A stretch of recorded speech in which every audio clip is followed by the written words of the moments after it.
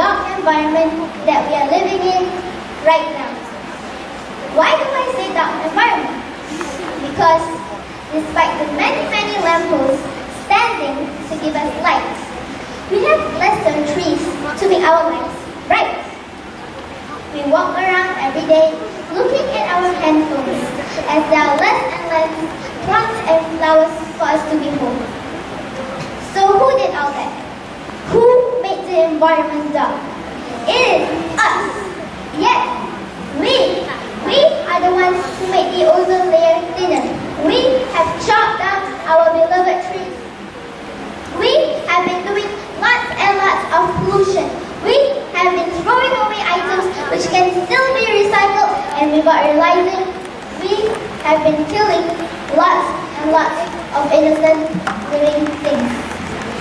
For example, we all know about the ozone layer, right?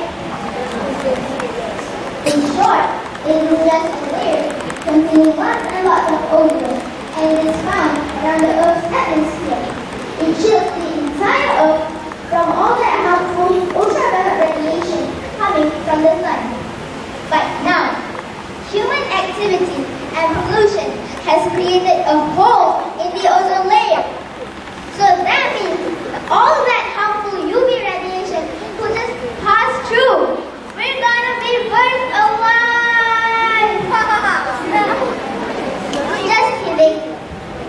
So it may become true if we do not stop our polluting waste.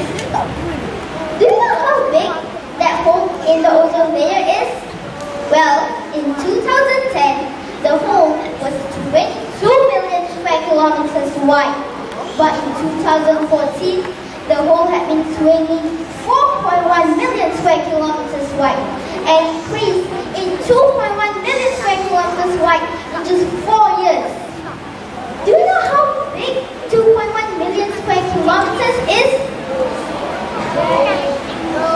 Singapore is just 683 meters. So that will take 3,074 Singapores put together. And that's just how much the hole has increased. Our gem must just shine its way through the dark environment, past the ozone layer, and throughout the entire world.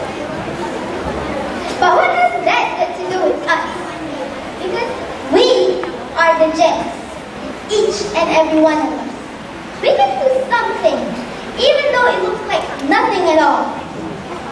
So let's do our part. Do not litter. Recycle whenever we can. Save the trees. Use less paper.